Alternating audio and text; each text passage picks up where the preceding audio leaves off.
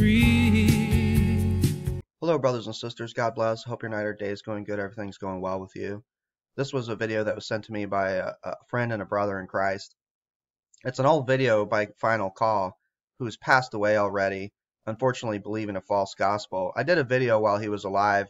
When I did the video, I remember thinking, I hope, you know, he repents, believes the true gospel. But from what we see, as far as what we know about him, he died believing a false gospel. And he wouldn't rightly divide the word of truth. He would twist and malign the word of God to get people to believe that they'll ultimately be justified by the works of the law. This was another example of it. I thought I'd play it so that we could get in the mindset of people who to hold to a work salvation, works righteousness. So we can see the error that they make. And so I'm going to go ahead and play the video through. It's a very short video. It's only a minute and 51 seconds. And then we'll play it through and critique it and show what he gets wrong here. No sinners will go into the kingdom of heaven. There are many people who have been deceived into thinking that they cannot stop sinning. If you go on sinning, you will certainly end up in hell. I read the words of the Apostle Paul in 1 Corinthians chapter 6, verse 9 onwards. Or do you not know that the unrighteous shall not inherit the kingdom of God? Do not be deceived. Neither fornicators, nor idolaters, nor adulterers, nor effeminate, nor homosexuals, nor thieves, nor the covetous, nor drunkards, nor revilers, nor swindlers shall inherit the kingdom of God. And such were some of you. But you were washed, but you were sanctified, but you were justified in the name of the Lord Jesus Christ and in the Spirit of our God. He makes it very clear. He says, And such were some of you. Repentance means to turn away from sin, to turn away from your former lifestyle, and to live in obedience to Jesus Christ, to be utterly holy, because without holiness, no man will see God. You must repent, dear friend, or you will certainly perish in hell. So that was the video played through. And if you've watched my channel for any amount of time, you'll see already that this guy doesn't know anything about the nature of justification, what it means to be sanctified, or what it means to be washed. When it says you are washed, you are justified, and you are sanctified in the name of the Lord and the Spirit of our God. Or how a person is made righteous, because it says the unrighteous will not inherit the kingdom of God. So we have to ask ourselves how a person is made righteous and then rightly divide the scriptures and come up with conclusions that are biblical. So I'm going to go ahead and play this through and we'll um, critique it. So get right into it. No sinners will go into the kingdom of heaven. There are many people who have been deceived into thinking that they cannot stop sinning. So he says people have been deceived in thinking they cannot stop sinning uh, you have to ask yourself, can you stop sinning? Can anyone stop sinning? If you could stop sinning, you would be sinless. And if you ever at any point say, well, I'm sinless, I'm without sin, the scripture says if we say that we have no sin, we deceive ourselves and the truth is not in us. So he can't stop sinning either as far as stopping all of his sin where he never sins anymore. He says people have been deceived in believing that they can't stop sinning while the Apostle Paul says that I know in me that is in my flesh no good thing dwells, for the willing to do good is present with me, but how to perform that which is good I cannot find. But the evil that I hate, that I practice. So I see there's a law in my members, waging war against the law of my mind and bringing me into the captivity of the law of sin and death. There are many people who have been deceived into thinking that they cannot stop sinning. If you go on sinning, you will certainly end up in hell. O wretched man who will deliver me from this body of death, I thank Jesus Christ my Lord, that on one hand with my mind I serve the law of God, but with my flesh I serve the law of sin. So the Apostle Paul is describing a situation where he wants to do good. He recognizes the law of God is good, but when he goes to try to do the very thing that he wants to do that is good, he actually does the very evil that he hates. So I'm not going to spend a lot of time on this statement right here that he made that you can stop sinning because it's completely fallacious that a person can stop sinning. It's the idea that you could be perfectly sinless and without sin. In essence, what he's saying when he says you can stop sinning is he's saying indirectly that you can keep the law. Since sin is transgression of law, and he's saying you can stop sinning, by implication, he's saying that you can keep the law. But the scripture says that no one can keep the law. By the works of the law, no flesh will be justified in his sight. For only by the law comes the knowledge of sin. Only by the law comes the knowledge that we're guilty, not that we're actually keeping the law. The scripture tells us that the law came in that the whole world would become guilty before God and every mouth would be stopped. That no one would have a righteous appeal in and of themselves to say, look, I'm guiltless under it and I'm keeping it. I'm not I'm not sinning anymore. So I'm going to go ahead and play the rest of this.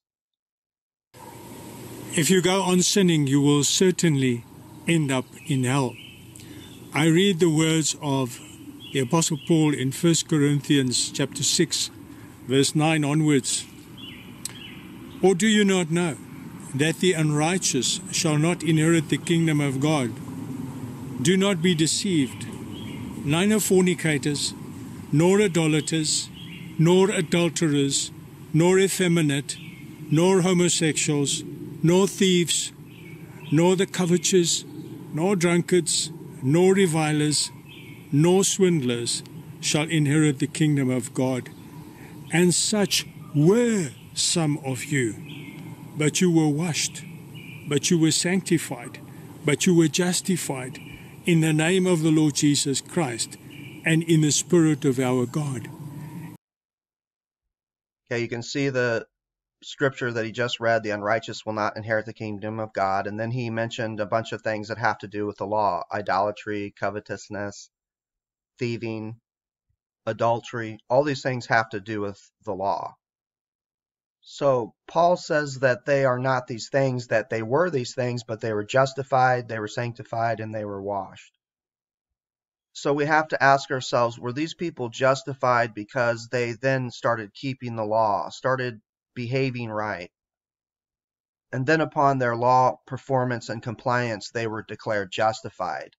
Well, we know that's not the case because when we rightly divide the word of truth, the Bible says we maintain that a man is justified by faith apart from the works of the law that a person has a non guilty verdict by their faith, apart from any performance and obedience to the law. We maintain that a man is justified by faith, apart from the works of the law. So when it says they were justified, they were sanctified, we have to understand that their justification did not come through performance to the law.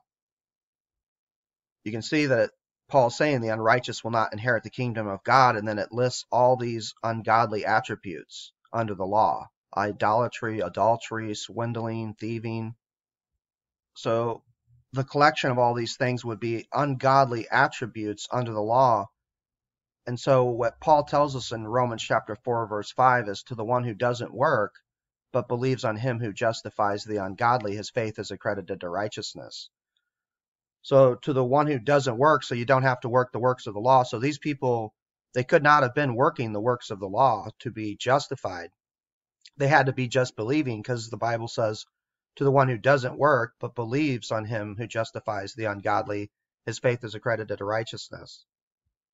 Notice the one who's believing and not working under the law, they're justified. That's a not guilty verdict, and they're made righteous.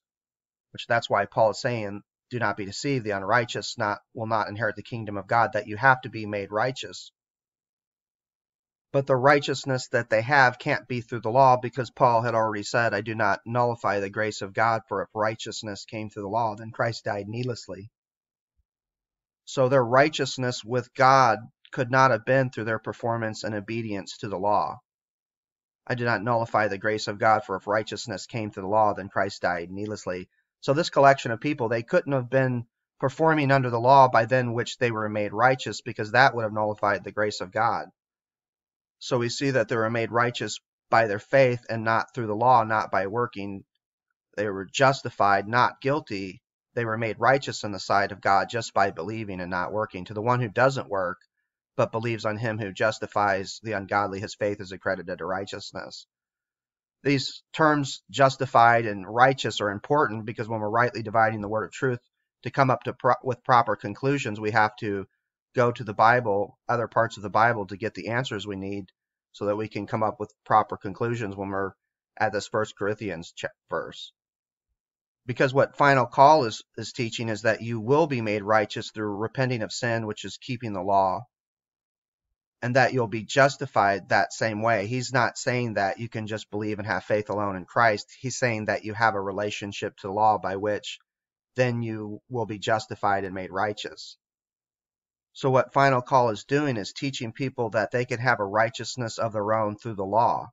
But Paul said the very opposite in Philippians chapter 3 verse 9, "May I be found in him, having a righteousness not of my own, which comes through the law, but that which comes through faith in Jesus Christ, even the righteousness which comes from God on the basis of faith." So the righteousness that we have and the righteousness that these people had in First Corinthians, where Paul is addressing these people, was a righteousness not of their own through the law. In other words, it wasn't through their performance and their obedience that they were made righteous, but it was through faith. What Final Call 07 was doing was getting people to try to believe that they'll be justified by the works of the law and that they'll be made righteous that way. Scripture is very clear by the works of the law, no flesh will be justified in his sight, for only by the law comes the knowledge of sin. No one will get a non guilty verdict by their behavior and their performance to the law. Only by the law comes the knowledge of sin. They'll only get to heaven and find out that they're guilty under the system that he's proposing. That's why the scripture says that the law brings about wrath, but where there is no law, there is no transgression. That the law brings about the wrath of God. But the Bible tells us that Christ is the end of the law for righteousness to everyone who believes. So we know these people in 1 Corinthians their righteousness was through believing in Christ because the law had come to its end for them when they believed. It couldn't be that they got righteousness through the law. It would contradict the entire gospel. When we come to Christ, the law comes to its end, the very thing that would show us that we're idolaters or adulterers or swindlers or thieves. The law has come to its end, and now we have a righteousness not of our own through the law. Christ is the end of the law for righteousness to everyone who believes. So hopefully anyone's watching this, they can start to see the clear error that is happening right here with Juan as he's teaching that a person is made righteous through the law, that they can be justified, a not guilty verdict through their performance and obedience to the law. He believes in an individualized performance under the law by which he can be made righteous under his own efforts, and then by merit of that, he would be able to boast. But the scripture says in 1 Corinthians chapter 1 verse 30 by his own doing you are in Christ Jesus who became from us from God righteousness, sanctification, redemption and wisdom, so that just as it is written let him who boasts boast in the Lord. That the one who would boast that they are righteous in the sight of God would boast that it's because of the Lord, not because of self. Which also includes sanctification. By his own doing, you're in Christ Jesus, who became from us from God righteousness and sanctification, which is what Paul is telling these people, you were justified, you were sanctified in the name of the Lord and the Spirit of our God. That they are sanctified past tense, they are justified past tense, and it was in the name of the Lord and in the Spirit of our God. Hebrews chapter 10 verse 10 says, By his will we have been sanctified through the offering of the body of the Lord Jesus Christ once and for all. So we were sanctified, and it was through the offering of the body of the Lord Jesus Christ once and for all. It wasn't through our works or performance to the law, which is what Final Call is trying to suggest here. And hopefully you can see what he's doing is trying to get people to work for favor under the law, to try to work to get favor by your performance and obedience to the law. But Romans chapter 4 verse 4 says to the one who works it's not counted as favor, but his wages due. But to the one who doesn't work, but believes on him who justifies the ungodly, his faith is accredited to righteousness. So the one who's working to try to get favor as far as being justified and made righteous, they don't get what they would suppose. They get wages due because by the works of the law no flesh will be justified in his sight, for only by the law comes the knowledge of sin. Because they were working under the law to try to get justified and made righteous, that didn't happen because No one can do it under their own power. Only Jesus Christ could, and we have to enter into that life and die to ourselves. So you can work your entire life under the law, work on bloody knees, working your fingers to the bone, trying to be good, trying to be righteous, and you won't get favor. You will have wages due. But by the grace of God to the one who doesn't work, so you don't have to work, but believes on him who justifies the ungodly, his faith is accredited to righteousness but believes on him, Jesus, who justifies the ungodly, that's a non guilty verdict. His faith is accredited to righteousness. So I'm going to go ahead and play a little bit more of this. He makes it very clear. He says, And such were some of you. Repentance means to turn away from sin, to turn away from your former lifestyle, and to live in obedience to Jesus Christ, to be utterly holy. Because with See, he's teaching that you'll be righteous through your obedience, but we're righteous through Christ's obedience, just as through one man's disobedience the many were made sinners. Even so, through the one man's obedience the many are made righteous. So it's through the one man's obedience that we're made righteous, not through our obedience. See, these people in 1 Corinthians were made righteous through Christ's obedience, not their own in accordance to the law. But they have righteousness by faith in the one man's obedience. And so they're collectively and equally made righteous, Romans chapter 3, verse 22. Even the righteousness of God, which is by faith in Christ Jesus upon all those who believe, and there is no difference. You see, Paul saying, Such were some of you. And then he says why they're not that anymore because they were washed, they were justified, and they were sanctified, not because they were keeping the law. See, Juan is believing, the final call 07 is believing that these people are now keeping the law, and that's why Paul said, Such were some of you. But the reason why Paul said, Such were some of you is because he knew that God made him who knew no sin to become sin for us, that we might become the righteousness of God in him.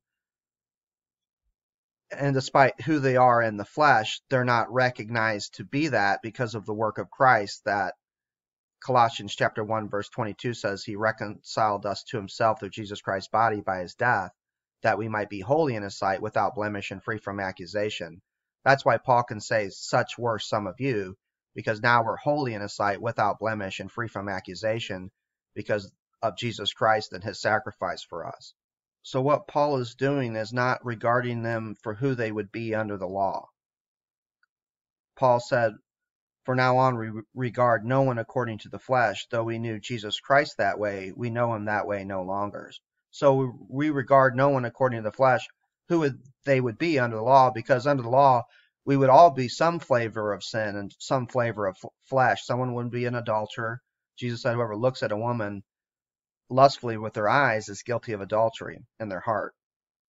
So thought crimes can get you guilty under God's law. So under God's law, one of us would be an adulterer, one of us would be a liar, one of us would be covetous, we would be something under the law. That's what the law reveals that the flesh is sinful and that it in it no good thing dwells. That's why we need to be justified and washed in the name of the Lord and in the spirit of our God and sanctified that way. So what final call is teaching is a law of justification by which you are justified and made righteous through your performance and obedience to the law, which can never happen. Final call never rightly divided the word of the truth he never took the time to study the functionality of the law to see what it does, what it doesn't do, who it's for, and who it's not for. So I'll go ahead and play a little more of this.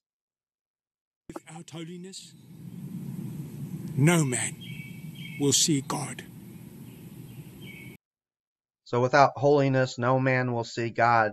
How many false teachers always quote this verse that he's quoting right there but then won't rightly divide the word of truth to take you to passages in the scripture to show you how that is actually accomplished. Because it is true, without holiness, no one will see God, but we need to know how that is accomplished.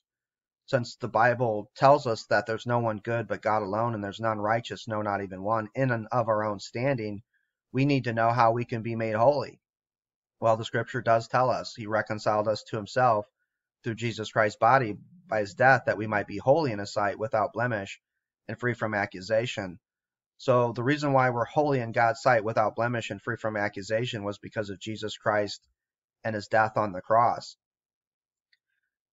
Hebrews chapter 10 verse 10 by his will we have been made holy through the sacrifice of the body of the Lord Jesus Christ once and for all.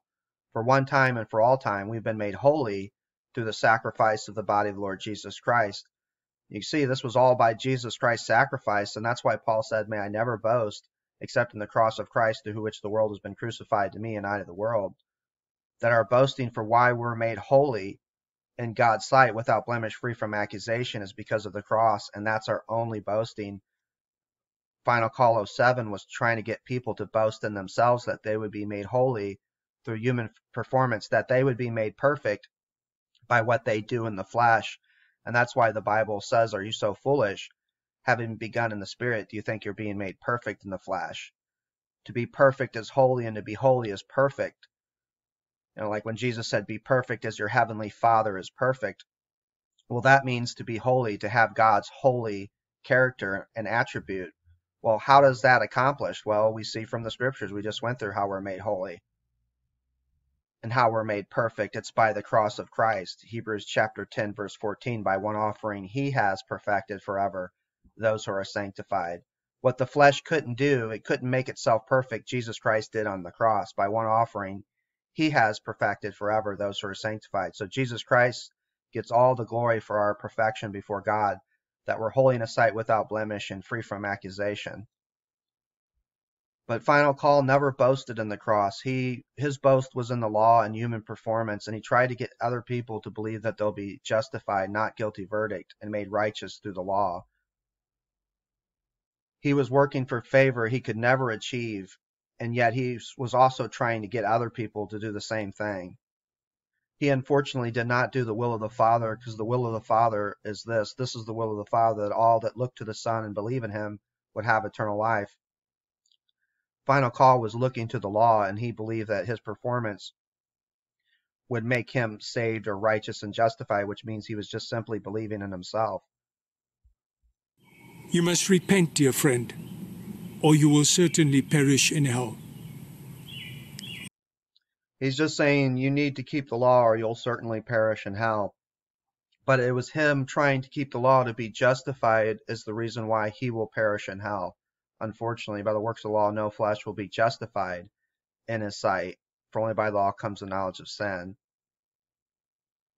He didn't truly repent, which would be to turn to God, to flee any attempts an idea that you could be made righteous or justified through your own goodness and turn to Christ alone, realizing that you have nothing in your hands to bring to God. So it's really sad from what we know, he never did turn to God for real salvation, to really turn in true repentance to the Lord Jesus Christ to be saved. So anyways, guys, I was just sharing some thoughts on this video that I was sent, and I hope your night or day is going good, and God bless you, and take care. There have been people with beautiful faces, many memories and